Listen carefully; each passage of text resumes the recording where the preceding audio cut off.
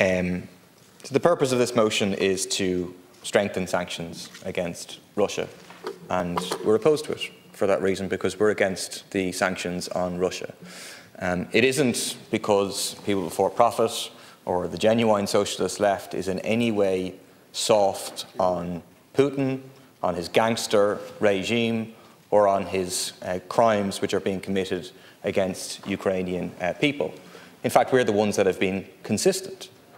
When Chechens were being massacred, when Grozny was being razed, it was the socialist left that spoke out against it, while Tony Blair welcomed him with a red carpet. Bertie Ahern was shaking his hands. Um, or the start of this year, who spoke out about Russian forces in Kazakhstan there to intimidate a workers' uprising? It was the socialist left. There was nothing from uh, the government. Or who's on the streets today in Russia protesting against the war? To quote one of Putin's allies in the Duma, he described the anti-war protesters as, quote, leftist and Trotskyist scum. In other words, the comrades of the socialist left. Of course, there are much more than the organised left on the streets. But we've been consistent in terms of defending the democratic rights of ordinary people in uh, Russia and opposing the disgusting and dictatorial regime of uh, Putin. Um, and we're also consistent in condemning, opposing the imperialist invasion by Russia of Ukraine and standing on the side of the Ukrainian people. But we don't close our eyes to the expansionism of NATO.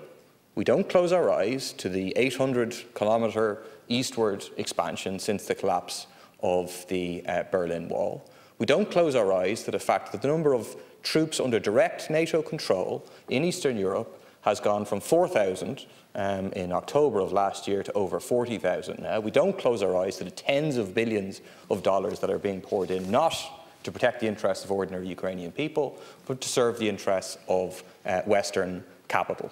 Um, and the truth is that sanctions are an instrument of, to quote the French finance minister, total economic and financial war. Um, the people who are hurt by sanctions are not Putin and the coterie of oligarchs around him. It's ordinary people. It's estimated, it's estimated that the poverty rate in Russia is doubling or trebling as a consequence. These aren't people who are responsible for the war. They have no act or part in, uh, in the war, but they're the ones who are being punished. It's people in this country who are being punished in terms of the cost of living crisis that we're suffering, partly as a consequence. And we've now had these unprecedented sanctions for months. Have they worked? The, the polls suggest from Russia, from independent uh, opinion poll companies, um, a poll by Levada declared a foreign agent in Russia, that, quote, the, the confrontation with the West has consolidated people. People believe that everyone is against us. Putin defends us, otherwise we would be eaten alive. Putin's ratings have gone up. Why?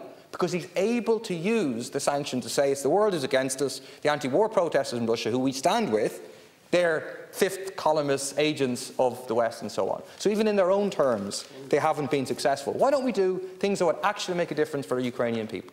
Why don't we increase the amount of humanitarian aid? Why don't we lead the way in calling for the dropping of Ukrainian uh, debt, which will take up 12% of total state expenditure? The government's never committed to that. Why don't we shut down the shadow banking system used by the Russian oligarchs and the Amer American oligarchs and others in this country and hit the oligarchs where it hurts? Right now, Micheál Martin is on the way or there in, uh, in Madrid at a NATO conference to attend a dinner. What on earth is the Taoiseach of a supposedly neutral country uh, doing attending a NATO conference? The truth is that the Irish establishment is looking to use this conflict to sidle Ireland up even closer and closer to NATO and to undermine what is left of uh, neutrality. And if people want to see the reality of what NATO is, look at the trilateral memorandum signed by Turkey, Sweden and Finland yesterday as the price of entry to NATO. Price of entry to NATO is for them to get rid of the arms embargo against uh, Turkey. It's to hand over, already today, it seems they're handing over 10 Kurdish activists to the Turkish authorities. They may well be tortured. They will be imprisoned without trial, probably for a very uh, long time, uh, to agree not to give any support whatsoever to the YPG. These are the heroic women fighters who fought against the Islamic State. That's the price of entry to NATO. And that should tell you something that NATO is not a force for democracy or human rights or good in the world.